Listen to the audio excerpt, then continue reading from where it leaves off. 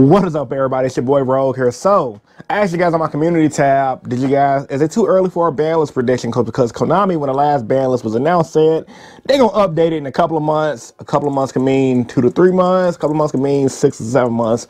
No one really knows when the next ban list is going to come out. However, with that being said, considering I'm a little bored of the current format and everything's pretty much Brave Engine or bust for the most part, think it's the prime time to give you guys a pretty decent ban list prediction.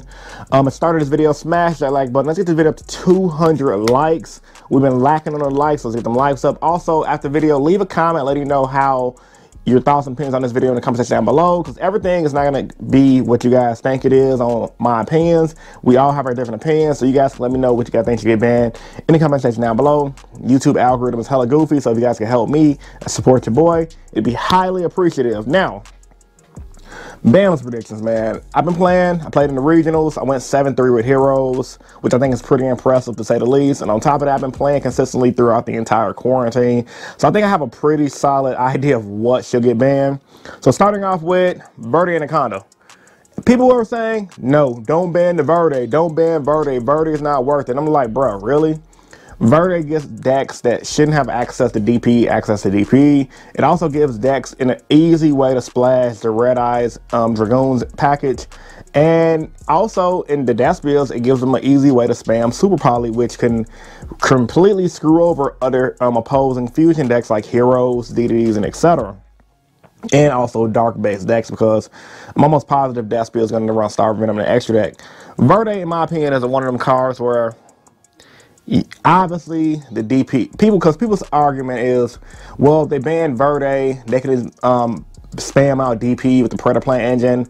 And that's true. Or they can spam out Red out the Predator Plant engine. That's true. However it's not gonna be as sweet aka as easy to do so. And on top of that according to my knowledge you're gonna have to waste your normal summon to do that Predator Plant engine anyway. It's a lot more clunky running in that way. So I think Verde should be banning Verde allows deck building to flourish more because right now almost every deck that's not a archetype based deck like these base decks or these other type of decks that's not um, base like Sky Strikers or whatever, they can just throw Verde, throw DPE, pay 2,000 light points, bring out DPE completely free. I don't think that should be a thing. So about banning Verde, that'd be really good. Um, some people disagree with it. I think Verde is the best option. Banning DP is pointless. Heroes need DP as a good boss monster.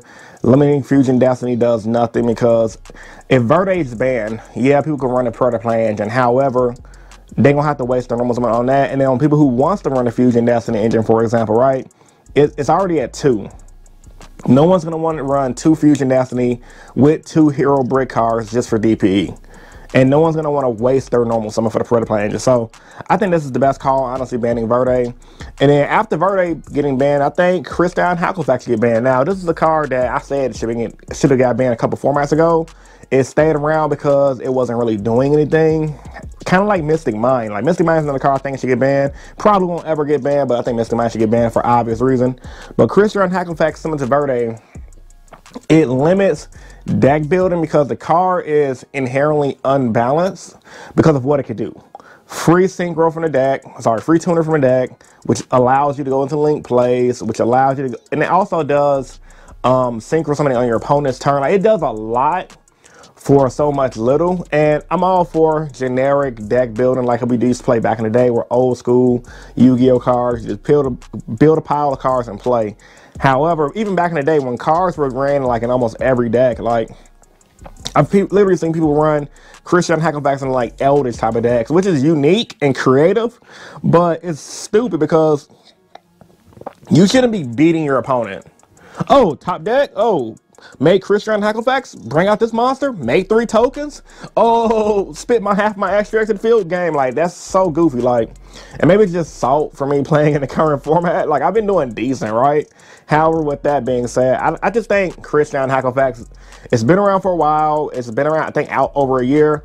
It's very similar to Summoner Sorceress from back in the day, the one that got banned, where it's like you bring out a monster deck.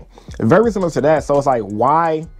Not ban it. Like in the OCG, it was banned for a while. I, I don't know if it's off the OCG ban list. Maybe you guys let me know in the comment section down below. However, this thing is an unhealthy card. And outside of those, those two, Verde, Crystron, and obviously Mystic Mine, ban Scythe. Um, Artifact Scythe. Now, this is for the Scythe lock decks, right? Because obviously if we ban Verde, if we ban Crystron Halqifibrax, it's going to slow down the Scythe lock decks, but there's multiple different ways to go Scythe lock. And Scythe lock, it makes decks like Phantom Knights overpowered. Like Phantom Knights is good. Um, Scythe lock makes it overpowered. And with the Scythe being a thing, and if you don't ban it now, it's going to limit future card creation for the future because, like, if they ever have a way to bring him out from the deck again or make an archetype spam monster from the deck, guess what? People going to throw Scythe right in that deck, spam out Scythe, and go from there. So, Scythe been around since 2014. It had an entire deck around it. The late Corey Roke, not Corey Roke, what am I saying? The late um, Magic play, Corey McDuffie, rest in peace to him. He invented the hat deck that won nationals back in 2014. The card's goofy. Um, I think it's eight years running. It's time to go. Just ban it. It's an overpower card. Maybe we can bring it back around when we have more main deck monsters that can do stuff. However, since most decks nowadays rely on the extra deck outside of Eldritch, I think Scythe has seen enough time in the, game where it's like, I think it's an issue when you see Eldritch in the deck with Scythe Lock or at the very least, your opponent, if they're, if you're, if they're not doing Cypher combo, they're playing like a random rogue deck.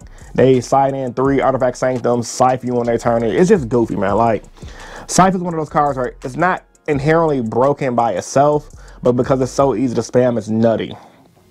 Limits to one. Honestly, I don't really have much limits to one. I think the Adventure Token engine is the only thing that should get limits to one. Limit Griffin to one, even though it doesn't matter because they don't play one anyway.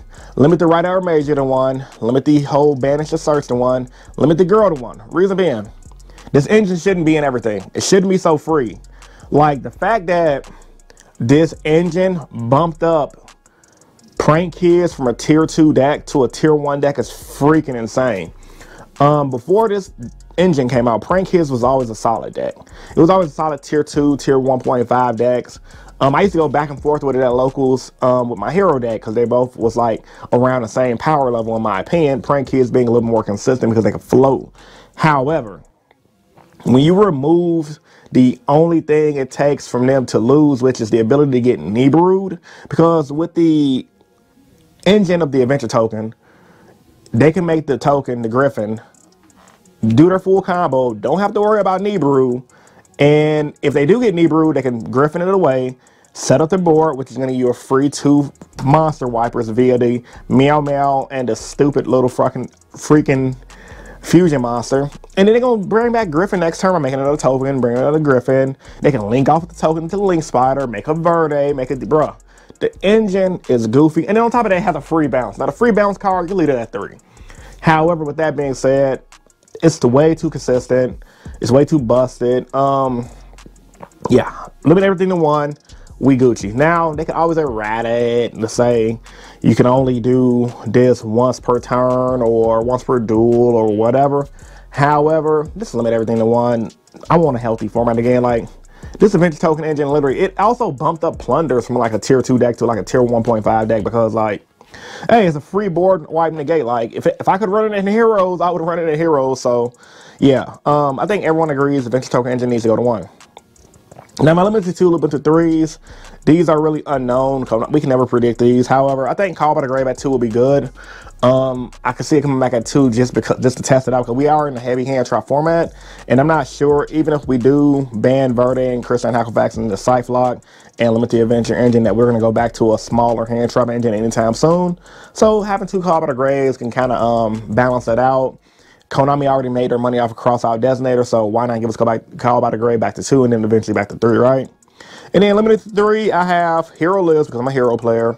And we bought it back to two. It doesn't didn't really do much for the hero deck other than make some of our combos more consistent, but it also made us more prone to lose to um Ash Blossom. So three hero lives for a deck that's tier two. Why not, right? Um, also three red reboot because Eldritch is annoying. And I feel like back row decks like Eldritch needs more ways to get checked. Having Red Reboot back at three, it can check those decks. Now, obviously, they're not winning everything. However, shout outs to bro who got second in Charlotte. He was running an Eldritch deck. It's one of those cards where it's like, yeah, it's not gonna outright beat Eldritch. However, we need it for the format. For we don't just people don't just flat out lose the cards like there can only be one goes in match. Um, Shadow imprisoning mirror if people still run it. Me, I think you guys get the point. Needless to say, it should have never got limited anyway. It was just limited to promote more back row heavy decks, which I get. And then also back to three, Harpy's Feather Duster.